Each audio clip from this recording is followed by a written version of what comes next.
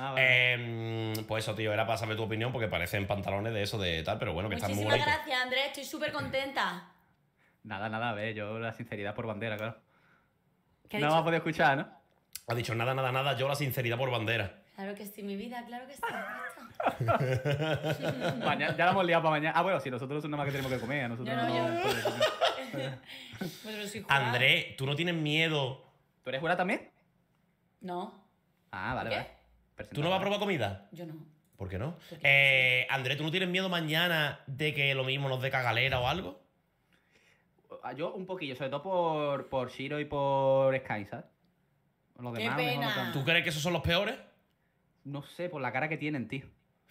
Tienen cara de cocinar regular, la verdad. La cara que. No tienen cara de, ¿sabes?